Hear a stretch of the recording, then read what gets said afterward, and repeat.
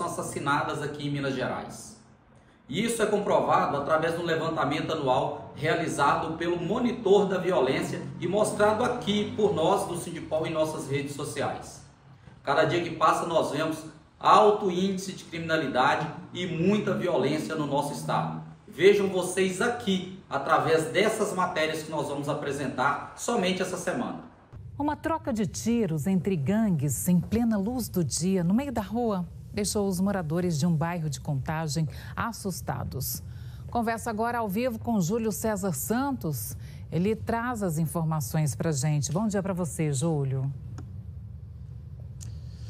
Oi, Aline, bom dia para você, bom dia para quem nos acompanha. Tiroteio intenso, Aline, que ocorreu na rua Atalaia, no bairro São Mateus, aqui em Contagem, em plena à luz do dia. Eu tô aqui no 18º Batalhão, Aline. Esse batalhão é responsável pela área onde ocorreu esse tiroteio e assim que os moradores lá da região ligaram então para a polícia militar, os militares foram até o local para fazer o levantamento, recolheram as imagens aí já estão em poder das imagens e já conseguiram identificar essas pessoas que participaram desse tiroteio. Aline, é, por lá o clima é de muita tensão. Esse tiroteio ocorreu ontem, em plena luz do dia, durante a tarde, já quase no início da noite. A gente, inclusive, tem imagens que mostram toda a ação desses criminosos. Segundo a Polícia Militar, esse tiroteio ocorreu por conta de um confronto entre gangues do bairro São Mateus e gangue também do bairro Estrela d'Alva. Esses dois bairros ali, as gangues desses dois bairros disputam pontos de venda de droga, estão em constante atrito ali na região. Ontem, segundo informações de policiais militares daqui do 18º, esses integrantes de uma gangue do bairro Estrela d'Alva foram até o bairro São Mateus e começaram a entrar em confronto, então, com as pessoas que pertencem à gangue do bairro São Mateus. São traficantes que disputam pontos de vendas de drogas e a população fica ali vulnerável no meio dessa disputa. Um tiroteio intenso, então, que ocorreu ontem à tarde. É rua, na rua Atalaia, ali no bairro São Mateus, deixou muita gente assustada. Os moradores precisaram se abrigar ali, se esconder em meio a esse tiroteio. E aí, quando a polícia chegou, aí já não encontrou mais ninguém. Ninguém foi preso, mas a polícia já conseguiu identificar essas pessoas que participaram desse tiroteio. A gente vai colocar aí na tela um trecho desse vídeo que mostra essa guerra do tráfico de drogas no bairro São Mateus, aqui em Contagem. Vamos acompanhar aí.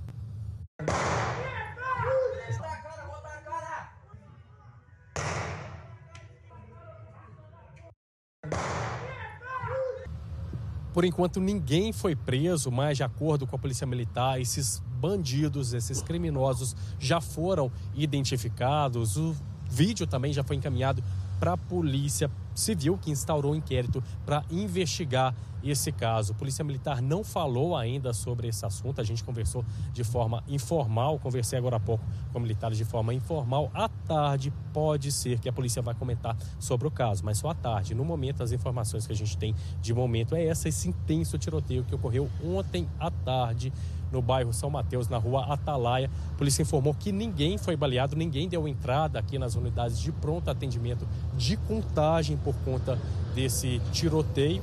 Mas esses, essas pessoas já identificadas, Polícia Militar também no bairro, fazendo uma varredura para tentar identificar, para tentar prender, que identificados já estão esses homens que participaram desse tiroteio, que segundo a polícia é proveniente aí de disputa de pontos de vendas de drogas lá no bairro São Mateus e também no bairro Estrela d'Alva. Duas gangues que atuam ali na região, os bairros ficam bem próximos, um ao lado do outro, e tem esse confronto aí por conta de pontos de vendas de drogas que ocorrem lá na região. Aline, eu voto com você. Obrigada, Júlio. Um corpo foi encontrado no porta-malas de um carro incendiado. Estranho também, hein? O veículo foi abandonado em uma rua de Ribeirão das Neves na noite de ontem. Vamos ver? Balança. O carro ficou completamente queimado. A placa do veículo pode ajudar a perícia a identificar a vítima que estava no porta-malas. Devido às condições em que ficou o corpo, não foi possível saber nem o sexo da pessoa. O caso foi nesta rua do bairro Granjas Primavera, na zona rural de Ribeirão das Neves. Vinícius mora perto do local e disse que na noite anterior percebeu uma movimentação diferente. O carro em alta velocidade aqui na rua, que levanta bastante poeira, né? Ele conta que cerca de cinco minutos depois, as chamas altas chamaram a atenção dos moradores. Olhando do portão, vi que se tratava de um carro que tinha sido incendiado. Aí eu tentei acionar a polícia e o bombeiro. Num primeiro momento, os moradores acreditavam que se tratava de um veículo roubado que havia sido deixado no local e ateado fogo. Somente pela manhã, quando os militares estiveram aqui, é que eles perceberam que havia um corpo carbonizado no porta-malas. Uma arma também foi deixada dentro do carro. O revólver estava no banco de trás e foi recolhido pela perícia da Polícia Civil, que vai apurar o caso. Essa moradora afirma que o bairro está inseguro e que frequentemente crimes acontecem aqui. Um lugar assim que está abandonado mesmo aqui. Nós moradores aqui passamos por isso constantemente. Geralmente eles jogam coisas roubadas, abandonam um carro com medicamento, né, roubo de medicação. É, é, geralmente eu já encontrei um corpo baleado aqui na rua de baixo. Diante disso, podemos observar que o governador Romeu Zema não tem se importado com a segurança do povo mineiro. A segurança pública é o que garante o direito individual de cada cidadão, é o que garante que ele consiga exercer a sua cidadania plena. Por exemplo, como trabalhar, como estudar, viver em sociedade e se divertir. E o que a gente tem observado é que o governador Romeu Zema não está nem aí para os problemas que nós, policiais civis, temos enfrentado. Nós trabalhamos hoje com metade dos servidores que era para a gente ter em 2008. Nós não temos condições, não temos estruturas e temos um péssimo salário ainda, um dos piores salários da categoria a nível nacional. E para isso, gente, nós pedimos que todos vocês, policiais civis, trabalham exercendo as suas atividades dentro da estrita legalidade, que é deixar de tirar dinheiro do próprio bolso para poder consertar viaturas, consertar computadores, consertar impressoras, comprar papel para imprimir boletim de ocorrência para o cidadão, que isso acontece com frequência, deixar de usar seu aparelho de telefone celular e os seus dados que você paga do seu bolso deixar de pedir a comerciantes também para que façam as manutenções, tanto nas viaturas quanto nos computadores, como eu disse, e também nas próprias delegacias.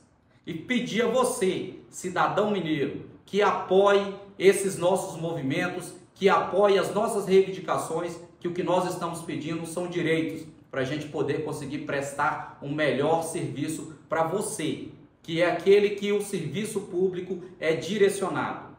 E dizer também, gente, que o governador Romeu Zema anda falando por aí que nós, servidores da segurança pública, somos castas privilegiadas. Mas como somos castas privilegiadas se os nossos salários são um dos piores dos salários de policiais a nível Brasil? A Polícia Civil, nós devemos estar hoje em 22º em ranking salarial. Mas o governador Romeu Zema, com aumento de quase 300% que ele deu para ele, para o vice-governador e para os seus secretários, ele vai chegar em março de 2025 com um salário de mais de 40 mil reais, onde será o governador com o maior salário do país. Aí eu pergunto, será que isso é justo? Será que somos mesmos nós, policiais, a casta privilegiada? Fica aí uma reflexão para cada um de vocês que ainda estão apoiando esse governador que gosta de contar mentiras e ainda jogar a sociedade contra aqueles que dão a própria vida para proteger a sua todos os dias. Contamos com todos vocês.